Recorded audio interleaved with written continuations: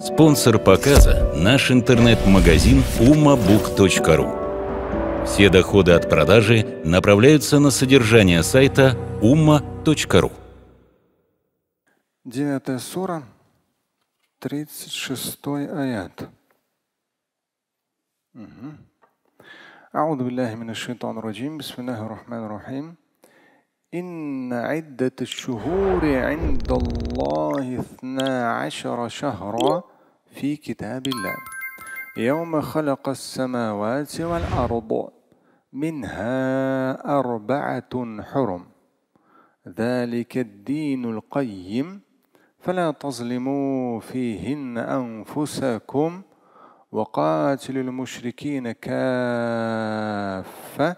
كما يقاتلونكم كافة واعلموا أن الله مع المتقين. По сути, именно по этой небольшой теме четыре священных месяца лунного календаря часть аята, часть, первая часть аята как раз эти четыре месяца там упоминаются. Но я думаю, весь аят процитируем. Надеюсь, не буду уходить в излишние подробности, но какие-то моменты подчеркну. Инна айдату шухур. Поистине число месяцев индаллах у Аллаха, Бога Господа, 12. Фи китабилля, в его книге, если подстрочно. В круглых, как альтернатива, законе. Ну, закон с большой буквы. В квадратных поясняю. В этом мироздании он сделал их именно 12. То есть и в солнечном календаре, и в лунном 12. Здесь хоть как крути, не крути, пять тысяч лет назад, две тысячи лет назад в Африке, в Америке или в Японии, они везде все равно, как бы что бы ни было, они 12.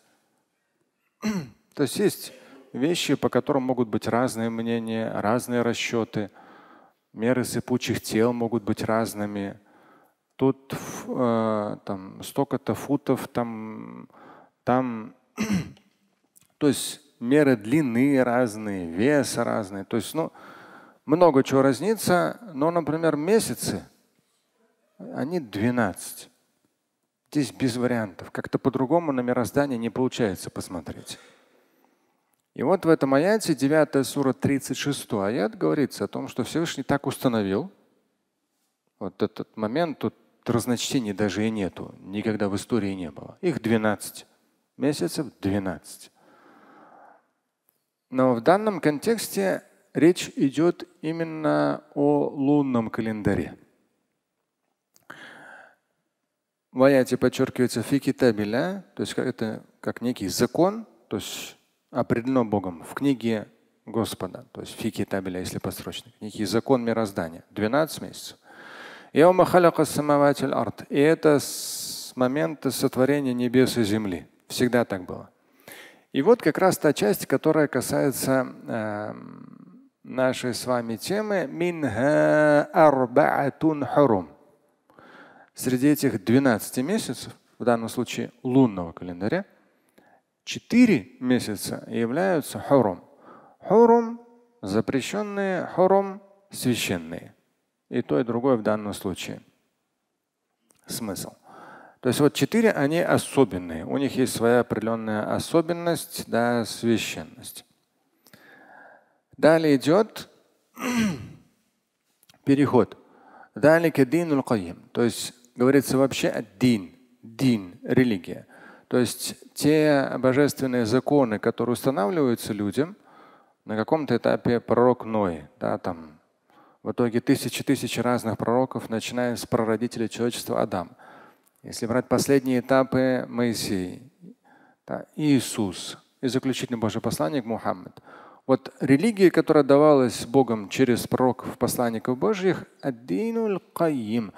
Это каим как правильная, здоровая верная религия. То есть это, ну, в данном случае, посмотрим, как я перевел в свое время.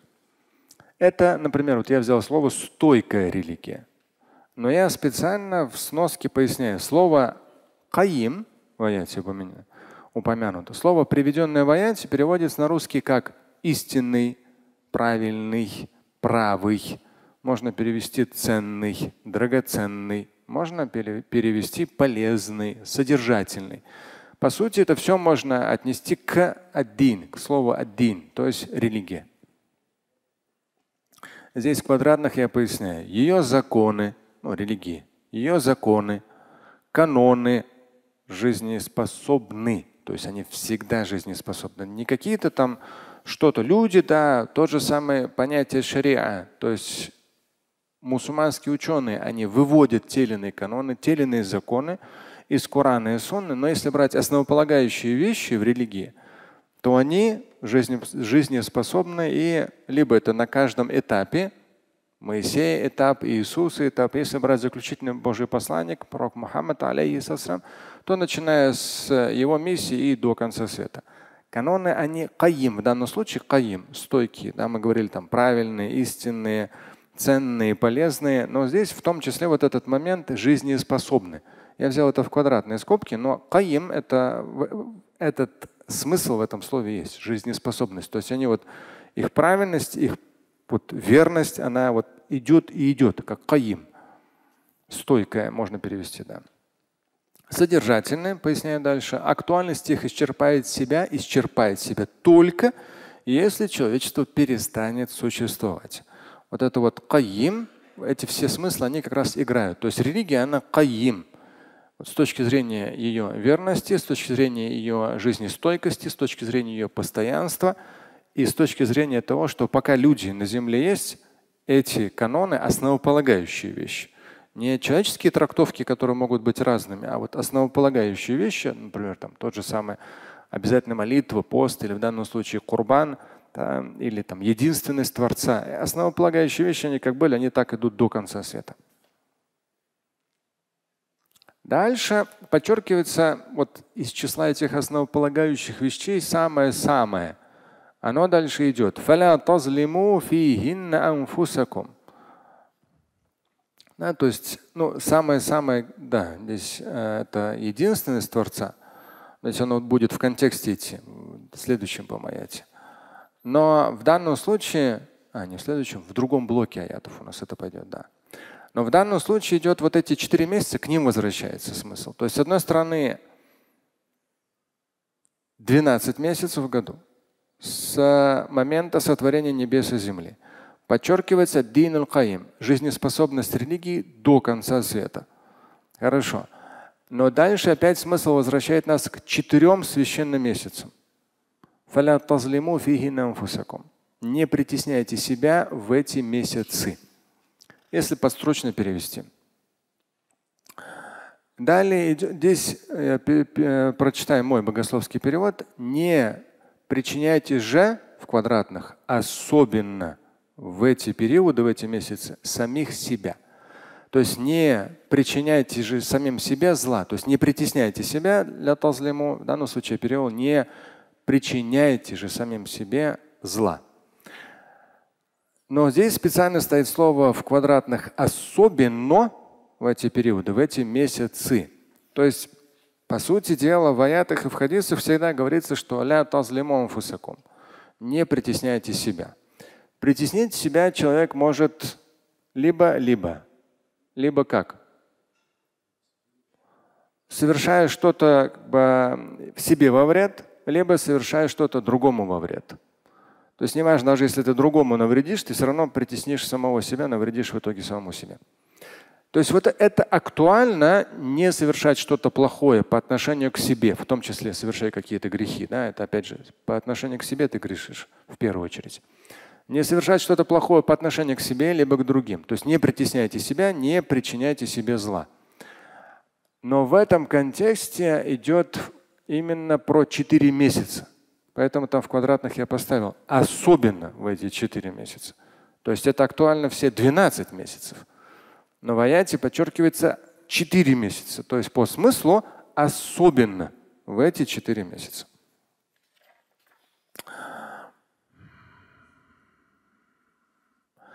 Далее идет аят, который имеет определенный исторический контекст, но и актуальность свою сохраняет. Он с учетом наших последних 30 лет, эти все аяты я всегда пояснял. Он, но я его специально решил, что надо процитировать весь аят. Он жесткий, но имеет свой исторический контекст времен пророка, алейхиссалату ну и имеет свое продолжение в той или иной форме в последующем. Здесь четыре месяца, один из них Зульхиджа, в котором мы сейчас находимся. Четыре священных месяца. Один из них Зульхидж. Говорится, не притесняйте себя в эти месяцы. Но тут же говорится о том, что есть вещи, которые даже в священные месяцы есть ситуация вынужденности их совершения. Пусть даже они, ну, по сути, как бы плохи, но они вынужденно необходимы. Вот здесь идет как раз дальше. мушрикина кафатан кама юкатилунакум кафа. Уничтожайте язычников полностью, как они, у вас, как они вас убивают полностью. То есть, если, конечно, вырвать из контекста, что радикальные группировки используют, это будет одно. Если поставить в общий коранический контекст, это будет совсем другое. Я как-нибудь вам, может, в следующую пятницу успею, одну вещь интересную привез из Ирака, книгу, оттуда некоторые вещи процитируем. Суть. То есть даже в священные месяцы, если вам понадобится защищать свои границы, защищать свою родину, вам придется это делать священный месяц своей священностью это не остановит. Если будет необходимость, то даже вплоть до э, военных противостояний они будут иметь место быть. Причем настрой, если интересно, уничтожаете язычников кафатан, всех, подобно как они уничтожают вас всех. Есть другой аят в 9 суре Это целая отдельная история, большое мое богословское пояснение. В свое время, в, ну, в начале нулевых, любили этот аят цитировать, даже по телевидению, альхамдуля, перестали. Там говорится о том, что убивайте язычников, где бы вы их ни нашли. У этого аята свой большой контекст, даже в самой 9 суре. Здесь как бы никакого смысла нету. Здесь Здесь даже в богословском переводе у него ну, реально больш, большое, в моем богословском переводе очень толкование здесь идет. Но сам аят 9 сура 36, я вам цитирую полностью, и здесь говорится, да, месяцы священны, но если вы вынуждены вступить в какое-то военное противостояние, то есть язычники наступают, и вам приходится им отвечать соответствующей силой, то вам придется это делать. Знаете же, что Аллах, Бог Господь, с набожными. Здесь давайте я вам прочитаю, как в свое время я перевел, ну еще лет давно, девятую суру, ну, лет 15-20 назад так раз это переводил. Это не в сегодняшнем контексте, а вообще в кораническом контексте идет и уничтожьте язычников всех, в квадратных поясняется, которые пришли к вам с мечом, подобно тому, как они убивают вас, не щадя никого. Там кафа, всех вас до одного. В квадратных поясняет, дайте им, дайте их военным нападкам соответствующий сокрушительный отпор. И дальше в аяте продолжается. И знаете, что Аллах, Бог Господь, с набожными. И вот здесь я ставлю большие квадратные скобки. С набожными. Не с дикарями, облачившимися в доспехи религиозности и выжигающими все на своем пути. Это я говорю, писалось мною примерно 15-20 лет назад. Ну, Аль-Каида уже тогда появилась, да, еще тогда еще не было.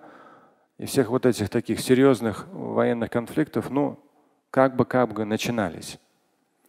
Не с дикарями, то есть Всевышний с набожными подчеркивается, в квадратных поясне, не с дикарями, облачившимися в доспехи религиозности и выжигающими все на своем пути, а с теми, кто знает, что такое Родина, духовные национальные ценности, что такое честь и достоинство, а также знает, что за каждую невинно пролитую каплю крови придется отвечать не только пред обществом, но и пред Господом миров. Это в квадратных скобках поясняется. То есть четыре священных месяца, они священны. Но если язычники со своей стороны вплоть до вступают в какие-то военные противостояния, придется дать им отпор соответствующий, даже если это священные месяцы, та же самая Зульхича. Но в аяте подчеркивается Всевышний с набожными. Здесь я, конечно, себя сдерживаю. Мы были в Ираке, я сейчас какую-то выжимку коротенькую. Мы были в Ираке, ну, меня давно в отъезде был, получается, не знаю, там полтора месяца. Ильдар Хасрат, наверное, тоже вам что-то об этом рассказывал. Семь человек, совет улемов. Мы поехали, 10 или 11 дней были, такой усиленный курс. Мы встретились с местным советом улемов, ключевые ученые, ну, самые топовые, именно ученые сунниты. И очень хорошо общались, попросили такой усиленный курс, обмен э, такой очень хороший. Произошел информационный обмен, и в том числе мы окунулись в Ирак. Ирак это ну, довольно непросто. То есть страна, которая столкнулась с большой сложностью, и ну, в том числе с тематикой Аль-Каиды и Дайша. Дайш – это как у нас, по-моему, переводили обычно, или исламское государство, или что-то в этом роде. Дайш. Аль-Каида это, – это другая группировка, вообще отдельная. Интересно, нюанс, вот маленькую вещь, далеко, иншалла, не уйду. Тот, кто нам, кто нам преподавал, ему 66 лет. Он говорит, до 2003 года, когда зашли американцы, у нас были санкции. С 91 -го года у них были санкции. Кока-кола нет там и так далее. Все как обычно там. То есть американцы решили их задавить, как бы, ну и ладно, что. Ирак сам собой жил и без Кока-колы нормально. И у нас, говорит, там только свои каналы телевидения были и все. Всего вот этого там сотен каналов не было и было хорошо, по сути. Жили своей жизнью, но, говорит, может быть, там не все великолепно, но в любом случае хорошая была жизнь, была страна со всем своим разнообразием. 2003 год, да, то есть вот это военные действия, приход американцев, э, в итоге потом казнь э, Саддама Хусейна. Ну, в какой-то степени это человек, который, ну, тогда ему было там, считайте, 46, сейчас ему 66. Ну, мы думали, что и он один из топовых ученых как бы, в, именно в суннитской среде Ирака. Он говорит, ну мы думали, наверное, будет в какой-то степени лучше, хотя, конечно, они не приняли американцев. И он интересно сказал, говорит, я потерял двоих старших сыновей, убили, семерых братьев и маму. Ну, то есть даже если представить себе, он, он такой веселый, очень научный, прямо такой. У него есть много трудов. Проповедь мощно ведет. Мы были на его пятничной проповеди. И другими учеными тоже мы общались. И общались, и такие усиленные курсы брали именно богословские. И мне приятно, конечно, все, что я вам говорю, вот эти 26 лет. Да, ну меня же периодически на меня наезжают. Там та же самая история, только она на следующем этапе. То есть мы с вами стараемся нейтрализовать проблему, ну, говорим о проблеме на начальном этапе. И уже средний этап подчищают что? Средний и высший этап, когда уже все приближается к совершению какого-то преступления, это уже работа спецслужб. Когда сильные спецслужбы, они все это подчищают. То есть задача богословов просвещать на начальном этапе. А когда специальных служб нет, в Ирак пришли американцы, военных нет, специальных служб нет. Все как хотите, так и спасайтесь. В итоге все, то есть все возможное радикальное, оно бух, начало подниматься. То есть у кого оружие, у кого сила, тот силен. И он интересно говорит, мы, говорит, воевали. Он сам, сам отсидел полтора года. Его, его четыре раза задерживали, сажали в тюрьму. Он в Абу-Грейбе просидел, это под, под Ираком, там только мужчин держали, жесткая, жестокая тюрьма была. Он там просидел полтора года. Один из самых топовых ученых Ирака. Он просто не соглашался. Он прямо как считал, так и говорил. Американцы его посадили. Полтора года отсидел. И он интересно говорит, вот то есть, когда спецслужбы не работают уже, ну, с точки зрения приведения уже остановить, остановить то преступление, все. преступные группировки. Американцы завезли сколько хочешь оружия, те, пожалуйста, кому? Аль-Каида, Даиш, договорились с шиитами. И он говорит, мы воевали сунниты с Аль-Каидой, с Даишем и с шиитами, и с американцами. Мы потеряли за, только в 2020 году более-менее все успокоилось. С 2003 по 2020 мы потеряли больше миллиона мужчин. Больше миллиона. Даже потом мы, когда… Это обычный человек. Сейчас он также проповедник, ведет э, в одной из самых крупных мечетей проповеди. Мы ездили в Ирбиль, это Курдистан. С местным советом улемов тоже встречались, и там они между собой, ну, всегда богословы, они и шутят, они и серьезные, они и шутят. И в том числе, говорит, то есть, ну и поблагодарили в очередной раз. Ирбиль и курды, они же такие более военизированные курды. Они никого не пускали. Ни Аль-Каиду, ни Даиш, ни американцев. То есть, ну, в меру. Да, американцы там не можешь совсем не впустить. Там везде хаммеры стоят военные. Американские, везде. Но держали оборону. Даиш и Аль-Каиду не пускали. Поэтому сунниты сотнями тысяч они временно переезжали в Ирбиль и на территорию курдов. То, что там только было спасение. Остальное просто вот суннитов всех просто брали, уничтожали и все. А я потом у него спрашиваю, а как говорю, куда делись-то Аль-Каида и Дайш? Ну, сейчас более-менее успокоилась. Более-менее. Он говорит, они между собой поссорились, друг друга поубивали. То есть там в любом случае это преступники. Дай оружие, спецслужбы, если не работают, все закончился. Сейчас везде, но до сих пор аэропорт едешь за несколько километров до аэропорта. Выходишь из машины, собаки все проверяют. То есть в машине вечером я ехал, человек на переднем сиденье был, он вышел, мне говорят, сядьте на переднее сиденье. Потому что постоянно смотрят. То есть если водитель без пассажира останавливает, это вызывает подозрение. То есть все равно в таком напряженном состоянии находится. Я к тому, что и интересный еще момент, потом тоже наверняка упомяну. Народ настолько устал от радикалов. То есть вот этот аят, где говорится, убивайте язычников, как они вас убивают, если здоровый контекст с точки зрения защиты Родины, он очень здорово, нормально звучит. Но если преступный контекст, который на сегодня, что власти это куфр, эти там все, по, там все должно быть по законам Аллаха и так далее, и так далее, в своей трактовке – Народ в Ираке просто, богослов говорят, устал от этих Аль-Каида, Даиш. Они просто убивали и все. Отнимали, убивали. Отнимали, убивали.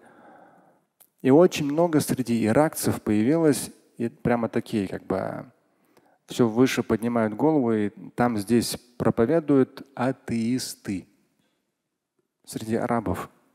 То есть они просто устали. Представьте, когда уже вам лет 20, преподносит ислам как идеологию убивать.